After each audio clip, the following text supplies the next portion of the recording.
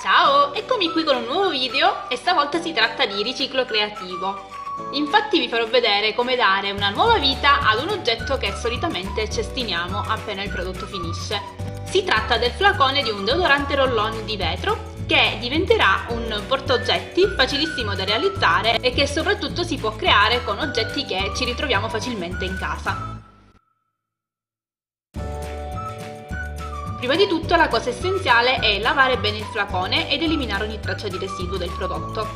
Dopodiché dobbiamo rimuovere la parte con la pallina, che è facilmente eliminabile con l'aiuto di un cacciavite. Fatta questa operazione avremo così il flacone che diventerà appunto il nostro portaoggetti e che io ho interpretato in chiave shabby chic.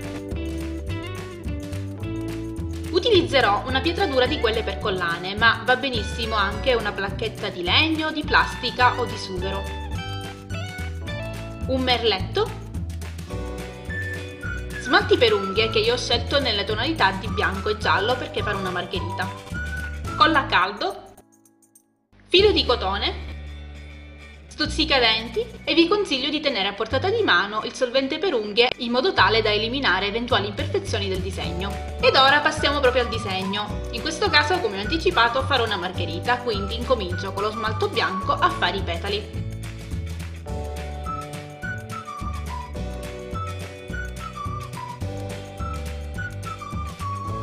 Dopo aver fatto un primo giro di petali ne farò degli altri, aumentando però la dose di smalto, in modo tale da aumentarne la densità.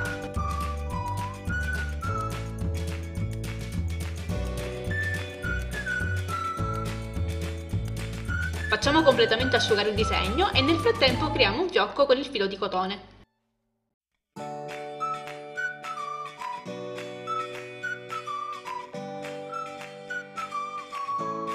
Passiamo a fare la parte centrale con lo smalto giallo. Quando lo smalto del disegno sarà completamente asciutto, incominciamo ad incollare il merletto alla base. Mettiamo la colla a caldo a piccoli tratti e su ogni tratto incolliamo il merletto aiutandoci con lo stuzzicadenti. E proseguiamo così finché non otteniamo una vera e propria cornice fatta di merletto.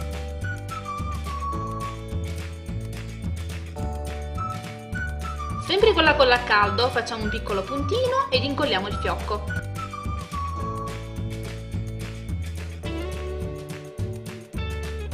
Ora è il momento di decorare il flacone. Mettiamo la colla a caldo nella parte centrale e subito applichiamo la decorazione fatta da noi.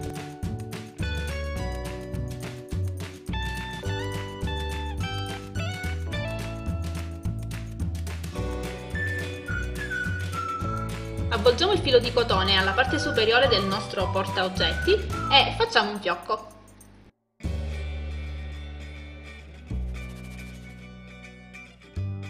Regoliamolo in base ai nostri gusti e tagliamo le estremità finali.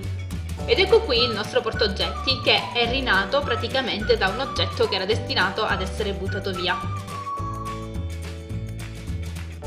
Non mi resta che sperare che vi piaccia e aspetto i vostri commenti come al solito e vi ringrazio tantissimo per la dolcezza che mi dimostrate sempre. Vi mando un grosso bacio e ci vediamo presto. Ciao!